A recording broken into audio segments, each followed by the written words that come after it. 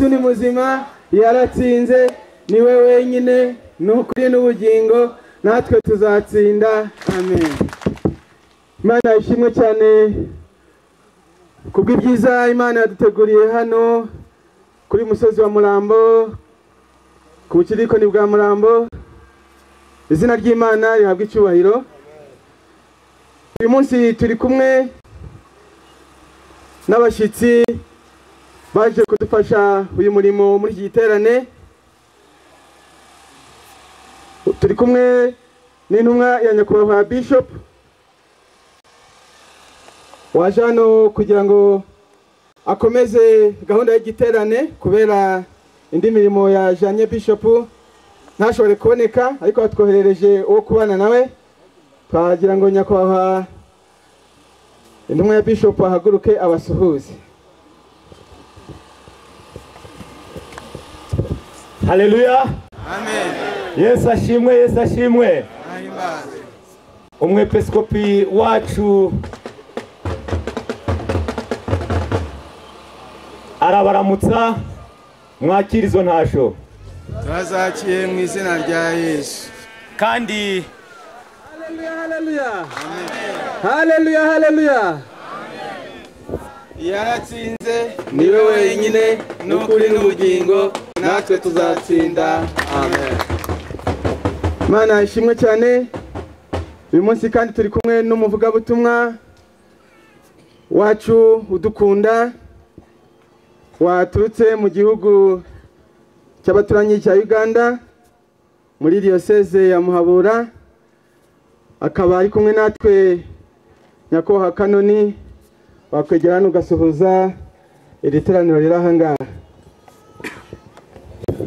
ngaha hareruya hareruya hareruya hareruya amahoro y'imana abe muri mwe. Iriya hakurya ntibumva amahoro y'imana abe muri mwe. Eh, amen amen. Mushima imana cyane. Iki giterane harimo abacirikoni bagenzi banje dufatanije umurimo muri diyoseze yacu irashyira twagira ngo bahaguruke babasuhuze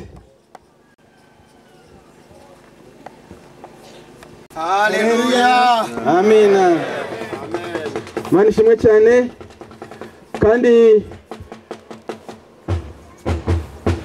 turi kumwe n'umupasiteri mwene data dusangiye umurimo w'imana gukorera imana.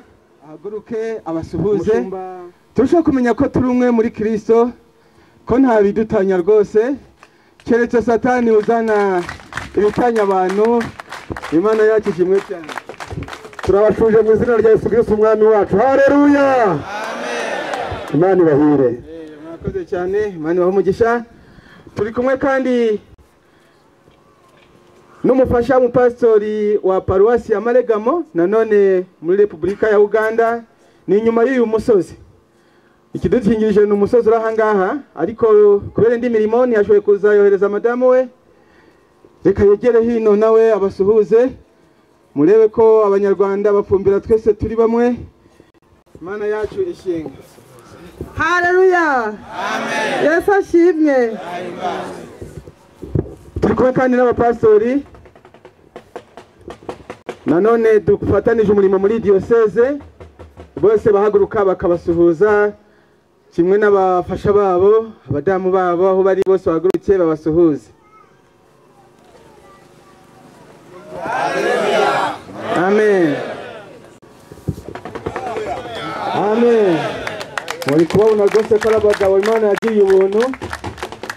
Hojana bavuga ko bambaye amakaruvati atukura. Hari hari amakositimu yo atabonana ntiwareba. N'imikenyero iteye ukundi y'abanyamurambo bakora ahandi. Imana yacu ishimwe cyane.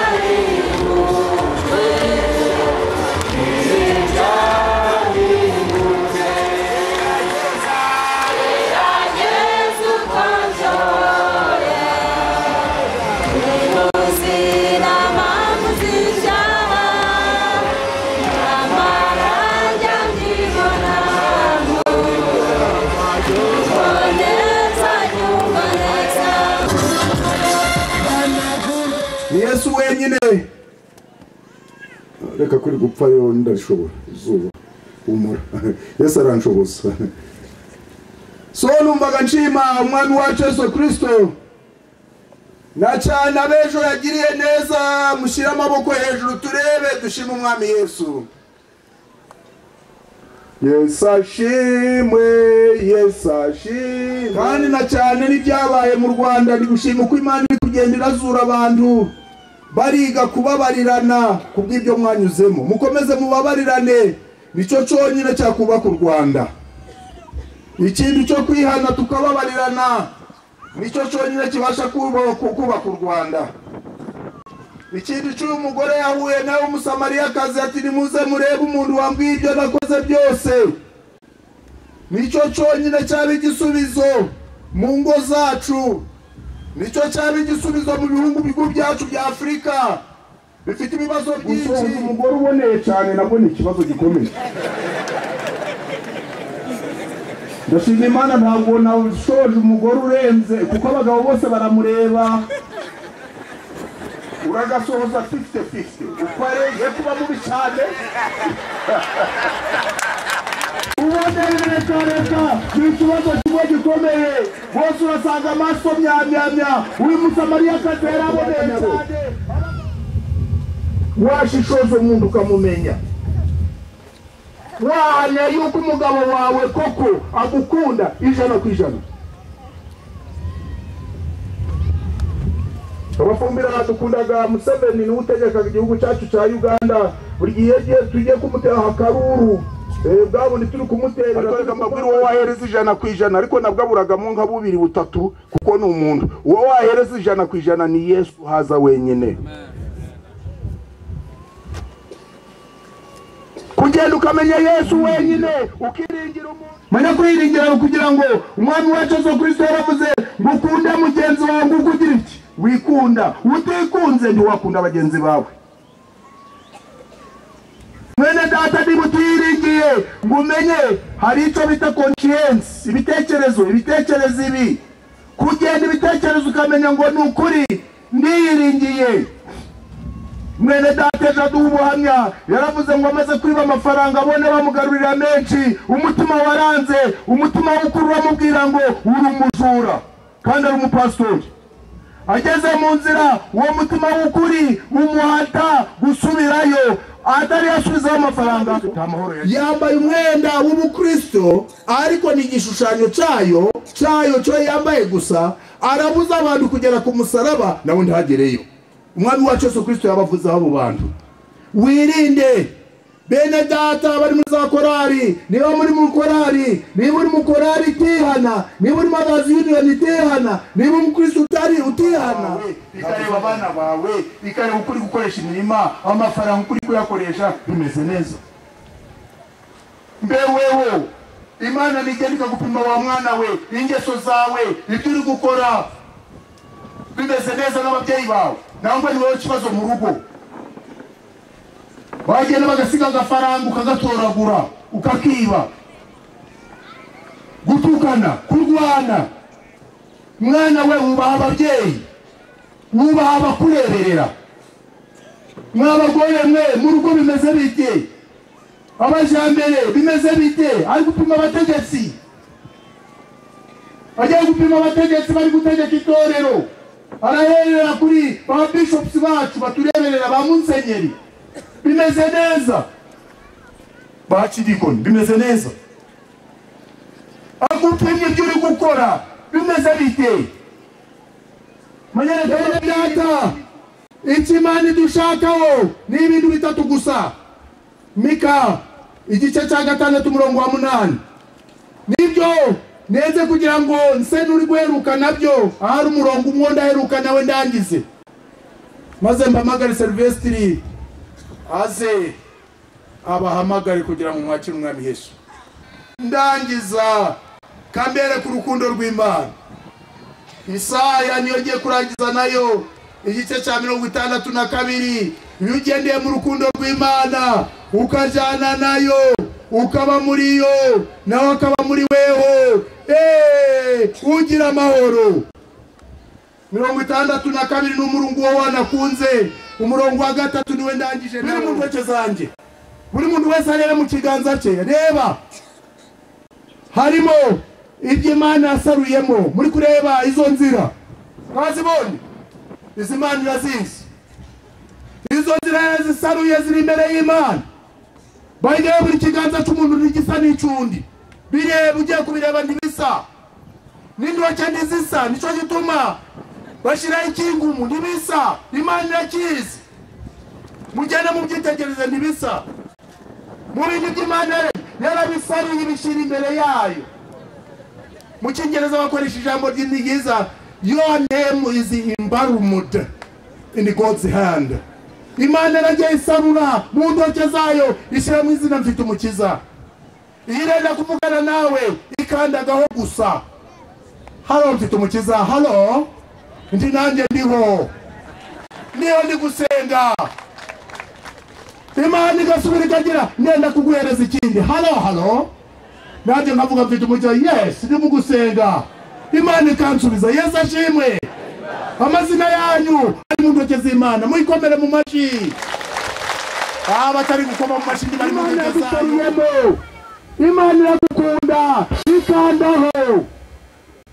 Ariko rero hari igihe ngenda gukanda ejo bundi nakanze nashakaga umugore wa nyamvugane nawe. Ushaka gukira indwara hano. utubasha kugusengera ugakira. Nawe shyira ukuboko hejuru. Imana irakiza. Silvestre aje kubahamagara nabwo ndashaka kugira ngo dusengere abarwayi. Imana ni yesu ukiza. Uhindura imibereho yawe. Akayihindura iyindi. Mwami yesu ureba ayo maboko. Yagiriye imbabazi. Shimwe ibyo dukoreye dusubire muri wewe dusubire twumva uko uvuga natwe. Uduhindurire ibikoresho bishya biguhereza icyubahiro. Kubwa yesu kirisiti umwami wacu. Imbere imana amashyi menshi menshi menshi menshi. Ah, dushakira pasitori silvestre bakenewe kwa cidikoni uwitwa yosuwa na aroni barakenewe mu rugo kwa acidikoni haraguru reka twakire pasitori silveri na mashi igiye kudufasha mu mwanya mu mwanya wo gusenga. Abantu benshi bazamuye ibiganza byerekana yuko bakiriye umwami yesu kandi ko bihanye. Mu minota mikeya rero tugiye gukoresha n'ubundi turafata umwanya wo gusenga. Hari ikibazo nshaka kugira ngo mbaze nushaka uragisubiza nanga sinugisubize iyo batakumenyereye ngo mbese rive ugiye he? Iyo uvuze ngo ugiye muri tete muri tete kandi nawe ni ho utuye. Hanyuma rero nyiriya minsi twari turi mu masengesho y'iminsi itatu. Nk'aya tumazemo iminsi ahangaha twari dufite igihe cyo kwiyiriza ubusa. Ndataha. Rigorobye twitegura gufungura. Urabizi iyo umuntu amaze gatatu atarya aba yumva akumbuye ibiryo kandi akumva arya byinshi. Hanyuma aho nari mpagaze nta rumuri rwinshi rwari ruriho hafi yo mu rugo. Mbona abasirikari batatu baraje. Bari bari kumwe n'inda itatu zo nari nzizi. Barabaza ngo ariko ngo kwa siliveri ni he? Numvishe bavuze ngo kwa siliveri kandi rigorobye. Ndabihishe mbihishe inyuma y'akaga kiyosike kari hafi aho ngaho. Umwana aba yambonye ngo siliveri muri gushaka nguyu hano inyuma. Siliveri ashobora kukwihisha akidikoni ashobora kukwihisha kanoni na bishopu bashobora kukwihisha ariko yesu ntabwo ashobora kukwihisha muhereza icyubahiro ntabwo ashobora kukwihisha muri iri teraniro ni bande bumva? Bavuze ngo mana dushoboze ntitukazongere kunywa ibisindisha. Byaba itabi byaba urumogi byaba ikiyobyabwenge cyose. Akaba arimo yaba ari iriya ruguru yaba ari aho yicaye nimba hari urimo azamura ikiganza turebe ubundi turihanike. Waba ari inzoga ujamo? Byaba ari ibitabi cyaba ni iki? Washyira ikiganza hejuru ngo turebe ese hari urimo? Umwigisha yakwigisha ngo abantu ntibacihana. Ntabwo bakigize n'amate abantu ntibacihana. Waba urimo ngo uzamure ikiganza cyawe? Nje ntawe mbona. Nimba urimo uzamura ikiganza cyawe. Nije gukizwa nabonye abantu bajya mu rusengero hariya. Yego mukecuru. Aha. Ngwino hano kandi. Ngwino hano rwose. Wewe wazamuye ikiganza ngwino hano rwose. Bongere bakurebe bakurebe ko wihanye. Bakurebe iryo tabi ntibongere kurikuzanira. Za nzoga bazireke. Bakurebe bakumenye kayira wizire hano. Kandi niba wihanye gusambana. Uti sinzabisubira imana cyose uzamura ikiganza cyawe. Hari abantu bashobora kuba bihanye ntibazongera kuraguza. Guterekera no nta mpamvu zo kwishira. Natwe yesu yaradukijije. Umwigisha mwigire hano hino. Abihanye ejo abihanye nijoro. Abihanye uyu munsi. Akavuga ati ndasezeye.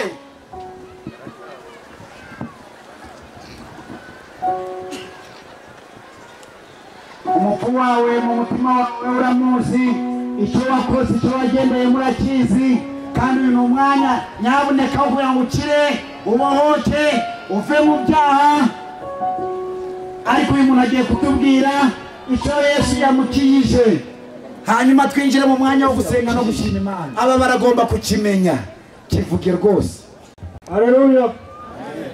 Imana nije gusambana, iza kunywa itabi, inyiza uburakari, inyiza kurwana mu mema n'icyubahiro. imana n'amashyi menshi cyane nanjye ano magingo icyo imana inyeretse kandi mwe ko yambabarira icya mbere cya mbere cy'ibanze inyigishe ko ngomba kubyiza ukuri umudamu hanini amubwiza ukuri ntamubeshye nta amubwiza ukuri ikindi gikurikiyeho ni ikibazo cy'inzoga cyari cyarambase nagira ngo imana ikimbabareho cyane